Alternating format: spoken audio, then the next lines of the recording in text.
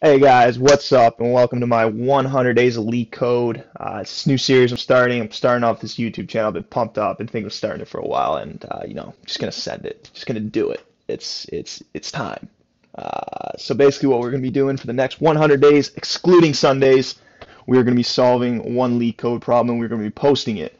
I found LeetCode has helped me a lot, uh, especially um, in terms of really understanding how to utilize uh, the different data structures and uh, types of algorithms that you learn about sometimes in theory, um, but they don't sink in, uh, I find, until you really start applying them uh, on a regular basis. So that's what uh, LeetCode really helps you with, and that's what we're going to be doing today. All right, so let's get right down to it. Day one, 100 days of LeetCode. Let's go.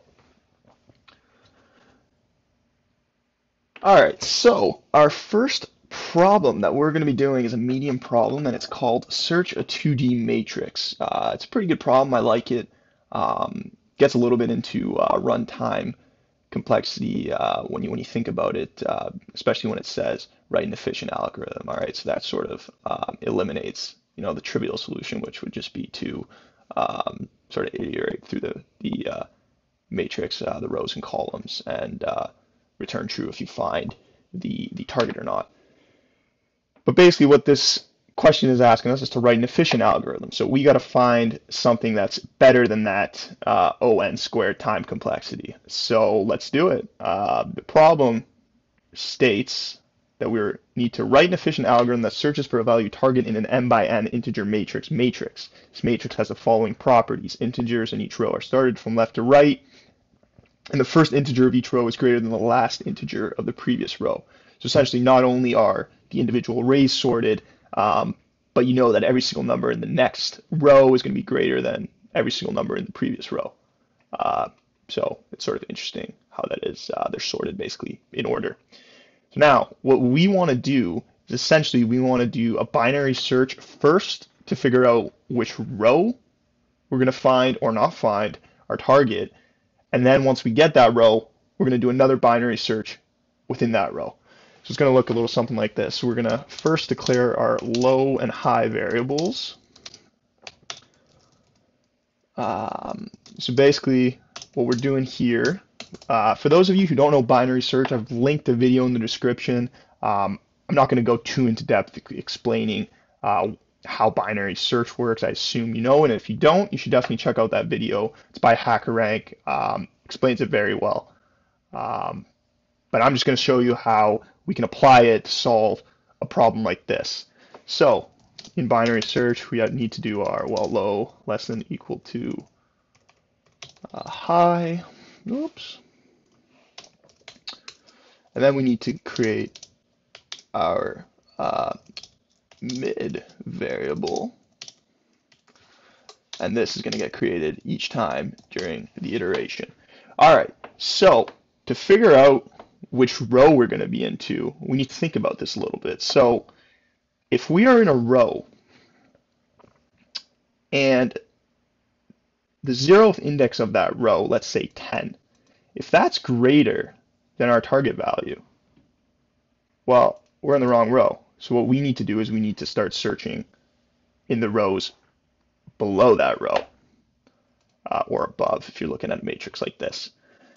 Um, on the other hand, if our target is greater than this number here, the number at the zeroth index of the row, well then if our number is also greater than the last number in that row, we need to start searching the rows above it or beneath it if you're looking at a matrix like this.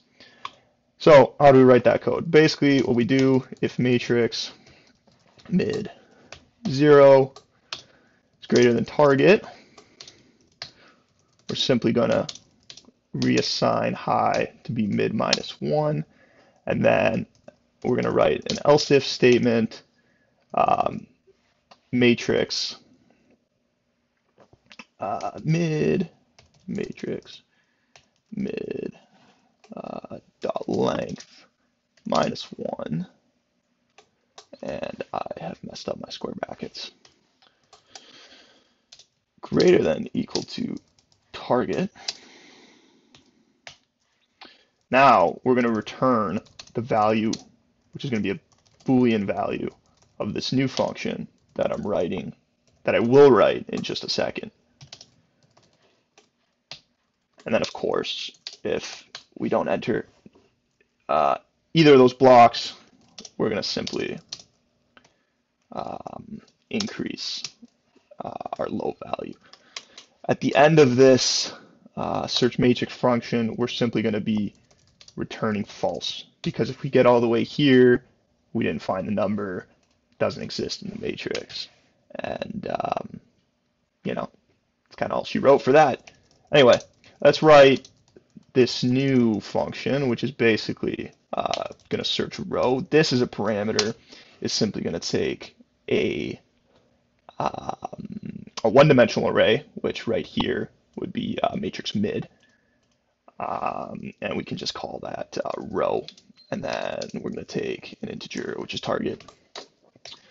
And again, we're basically doing binary search one more time. So we need to initialize our two variables. And we can enter the while loop again, create our mid,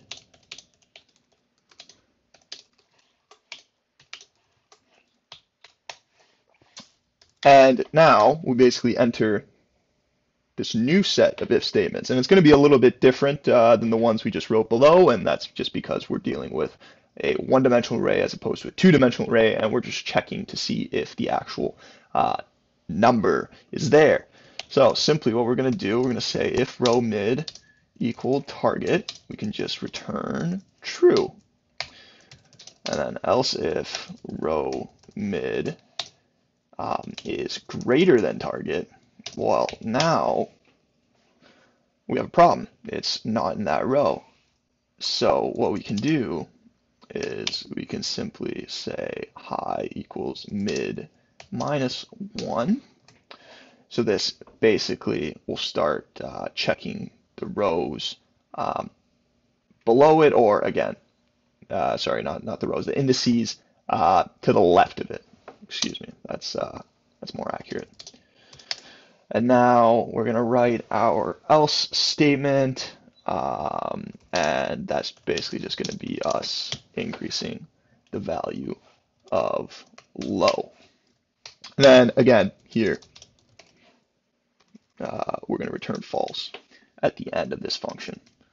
So now we should be able to submit our code and boop, and that's why we're not dealing with matrix, we are dealing with row here.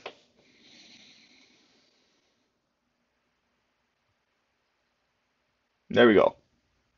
All right, guys, thanks for watching. I appreciate it. Uh, you know, I never thought I'd be this guy, but uh, if you enjoyed that, if you want to, you know, see day two, day three, uh, day 78 of the 100 Days of LeetCode, um, you know, I'd appreciate you liking, subscribing, doing all that nonsense um, that I used to get annoyed by whenever I would watch YouTube or whenever I do watch YouTube.